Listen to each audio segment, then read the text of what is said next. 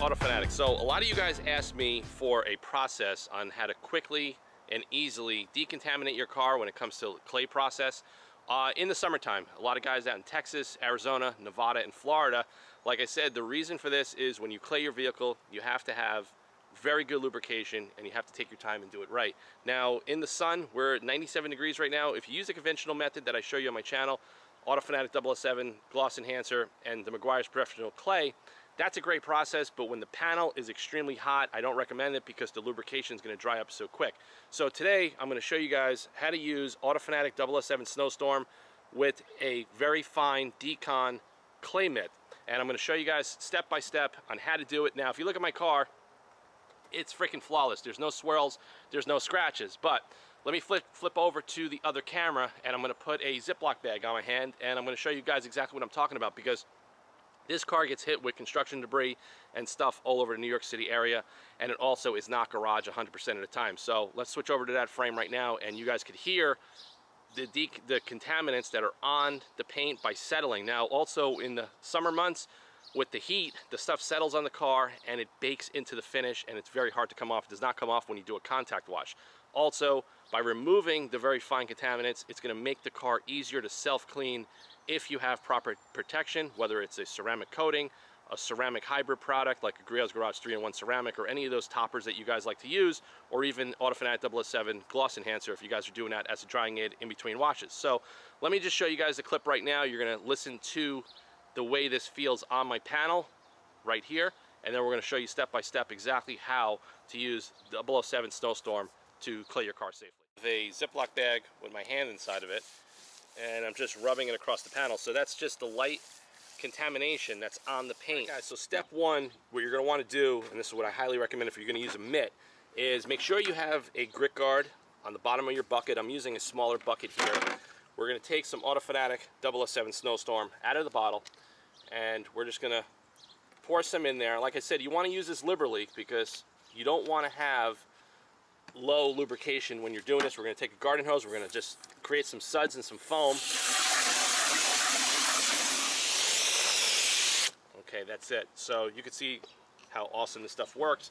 Now, today what we're going to be using is a fine surface prep clay mitt by Griot's Garage. You could buy this from uh, multiple different vendors, and I only recommend doing this with the fine. Uh, the aggressive ones have a little bit too much tension, and you could scratch the paint, especially if you have a black car or a dark color car, unless you don't care and you just want to do a quick clay decon and you're going to paint correct the car and you're going to spend 20 or 30 hours doing that, then you could do whatever you want. But I'm just going to tell you, this is my technique that I've been using for the last eight months on upkeeping my car showroom shine and perfect every time I go to events. So we're going to take the mitt and we're going to submerge it in the bucket. We're going to leave it there. Pretty much going to just get this thing lubricated and prepped with the 007 Snowstorm and we're just going to leave it there because what we're going to be doing is we're going to foam sections of the All car. Right, so we got one of my foam cannons. It's already filled with water. We're going to take the 007 Snowstorm. We're just going to pour a couple of ounces in there, just like that. Close the cap. And always, every time you use a foam can, this is, I don't know why I get all these questions, but you have to, I put my finger over the vent hole, and you, you have to agitate it, okay?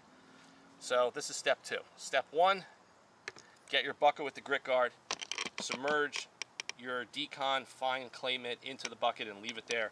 Get your foam cannon ready and let's get the pressure washer set up and we're gonna shoot it start I do not recommend foaming the entire car in the direct sun to do a clay decon. So you're gonna wanna do panel per panel.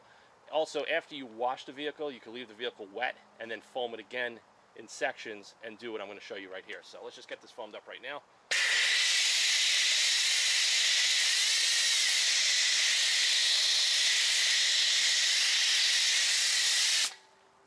That's it on the panel, like this.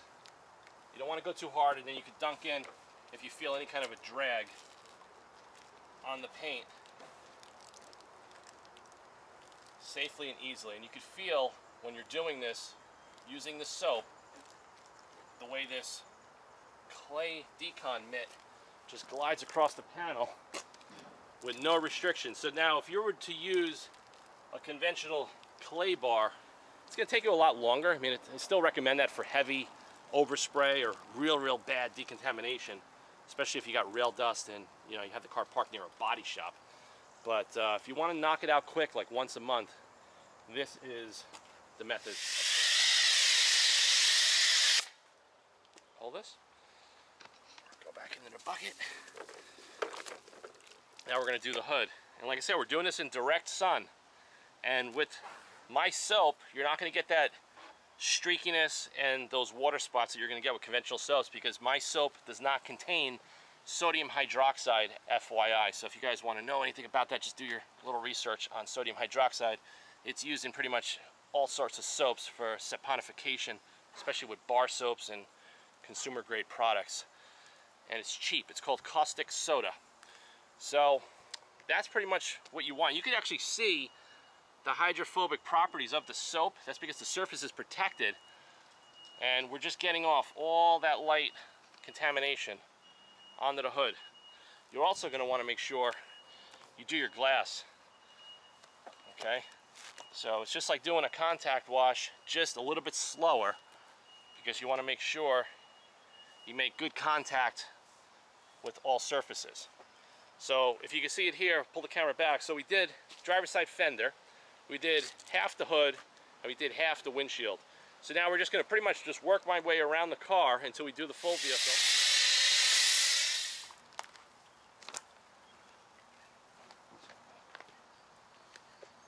Nice even passes is going to ensure you don't scratch up your car and I'm sure, and I know for a fact a lot of YouTubers show this, but uh, I'm showing it in direct sun with my soap because that's what a lot of you guys have asked for. Also, don't forget the headlights, the bumper, everything. You want to pretty much get all the paint, get all of that light decontamination off of it. The water behavior on the car from the light dilution ratio of the 007 snowstorm and also the protection on the car that's already existing. So we're to go back here.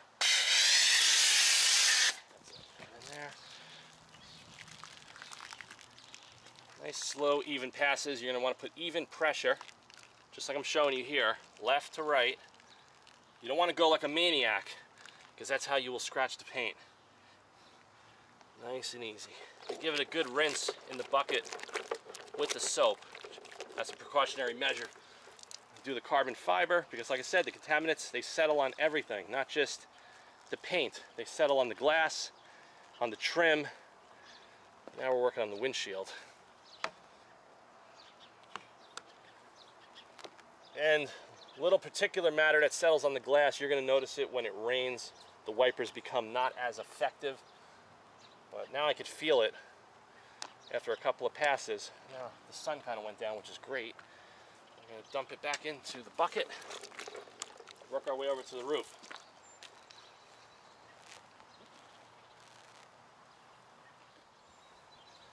So I want you guys out there to have the 007 Snowstorm or you want to pick some up on Amazon or through the Auto Fanatic web shop.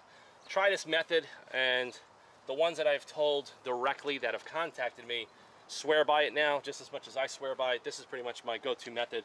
If you do this once a month, and your car's not garaged or you know you park where stuff's going to settle on it do your best to work in sections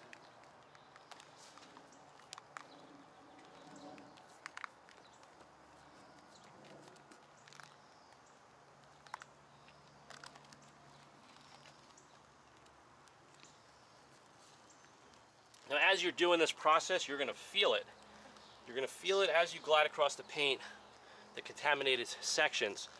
And you may have to go over some sections more than once because this is a fine clay decon mitt.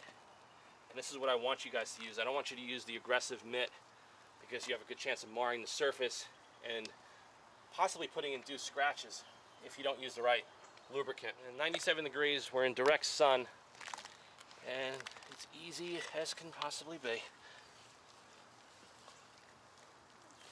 Now, the back of the car, the rear trunk, that usually gets the grunt of a lot of contaminants. Like I said, this usually gets a grunt of the contamination because of how you drive. Everything blows over the car and settles always in the back window, the trunk, and the rear bumper.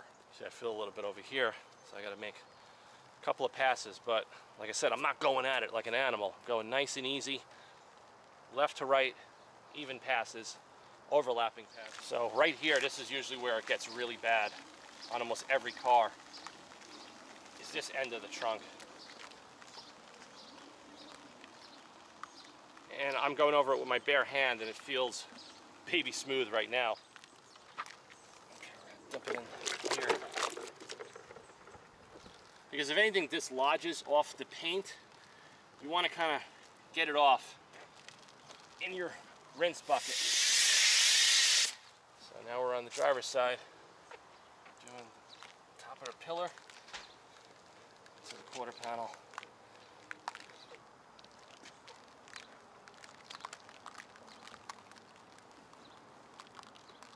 And it makes the job a hell of a lot easier than using small pieces of clay. You know, for something like this, or you're just doing a light, very, very light decon, this is what I prefer now. This is my method. And then I'm gonna rinse it, dry it up, and that's it. We have the added protection from 007 Gloss Enhancer polymers that are blended into this soap chemistry. And you can see it the way the water is pulling away. That's the lubrication that we're getting from the soap. So this is more economical doing this than using a whole bottle of 007 Gloss Enhancer, doing panel per panel and using uh, small pieces of clay. So it's all about creating a more efficient process and giving a show quality result and maintaining that result easily. So you can spend more time enjoying your cars rather than obsessing over processes that take all day or multiple days to uh, maintain. And you guys can see the water behavior just from doing that process. It doesn't feel grabby like most soaps. Your hand just glides across the paint smooth. There's no contamination on the car anymore.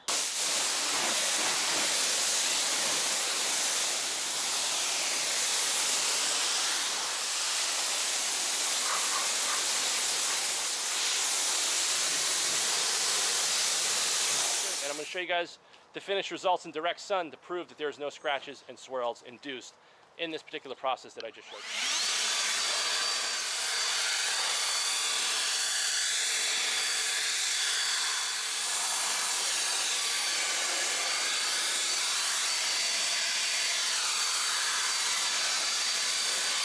Guys, we're finished. That is the full Clay Mitt Decon with Autofanatic 007 Snowstorm. You guys can see the photos. Uh, this car has no scratches, no swirls, no marring whatsoever. So hope you guys like this video. Got some tips on how you can do this yourself. Save yourself a lot of time and effort and do an outstanding job safely and easily using the Autofanatic 007 Snowstorm and your choice of clay mitt, which I will put a link to a bunch of these you can get on Amazon and you can also buy the soap on Amazon as well or through the Autofanatic web shop. So thanks for watching this video. Please subscribe to the channel. Stay tuned for more content and I'll see you guys on the next video real soon.